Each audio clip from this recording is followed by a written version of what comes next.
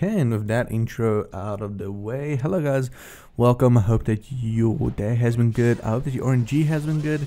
And I hope all in all that things have just been going well. And welcome back to another Black Desert video. Uh, as you can see, I made some gains again. Um, last week I didn't upload, I do apologize for that. It was due to the fact that I had um, a little bit of a issue regarding headaches. So I went to bed earlier than usual etc etc and just didn't get around to really getting anything done in terms of recording. So that's the reason for that. Uh, but here we go. Got this done. And this video is to compare succession Lahn to awakening Lahn uh, this is not on new stats. I actually recorded this uh, what you're seeing now. Yes no on Monday. Uh, I bought my my Pen Nova on Tuesday. So this is on my normal awake, not awakening, succession stats of Kutum before I even got the one extra AP. Um, what I'll do is, of course, I'll redo this grind with uh, my new stats and see how I pull there. But what I heard from the comments was somebody actually said that Succession still pulls more than Awakening on my previous Awakening uh, video in Sycraia that I did in Lahn. And I found that interesting because of the fact that Succession just didn't feel as good to me anymore than Awakening did. And the numbers proves my theory. Maybe I'm just a very bad Succession player right now. And I'm just a lot better at Awakening. But you can see even in the kill speed itself that it is lower than Awakening. Now that may be due to the fact that my awakening AP is a lot more than my um, pre-awakened AP.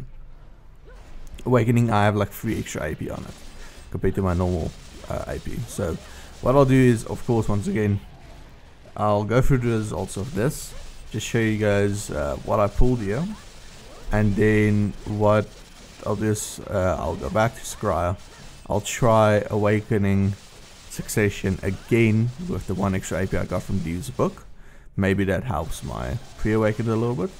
And then I'll try to do a hour with my Nova as well. Uh, Nova is really high on stats right now. Uh, anything that I'm kind of missing is DP uh, but in terms of Nova AP and stuff like that I'm 292 and uh, 289 I think which is really high. Um, so I'll test that as well. I don't think it's going to be better than my Kutum uh, Kutum still seems to be, even though it's on Tate, it still seems to be a little bit better for grinding. But yeah, enough of the rambles. Let's get into the results of the video real quick. Okay, let me get my screenshot up here real quick as well. Uh, here we go.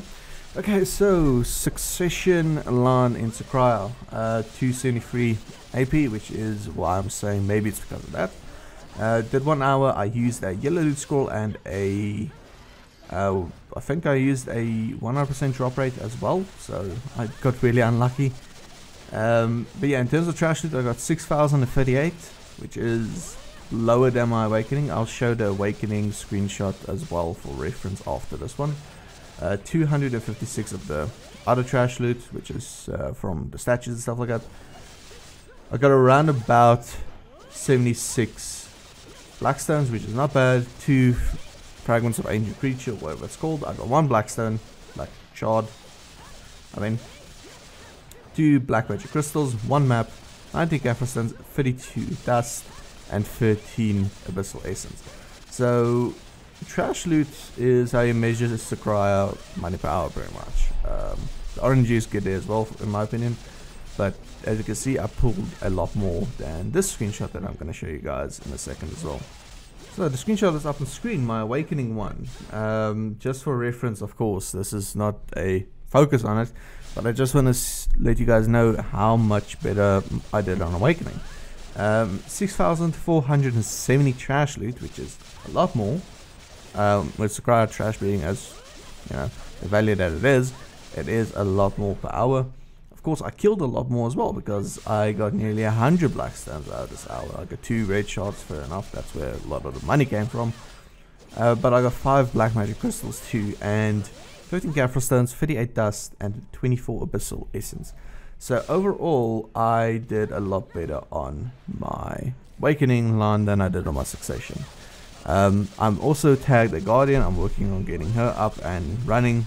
So I want to test Awakening Guardian and Succession Guardian at uh, Scry as well. While this tag event is still going on, I'm on the fence about either Archer or Guardian, but I'll probably just stick to Guardian just since the fact that they she's so good at grinding. And uh, she's quite good in PvP now as well. So yeah, that is literally it. There's no other um, screenshot. I just did one hour of succession.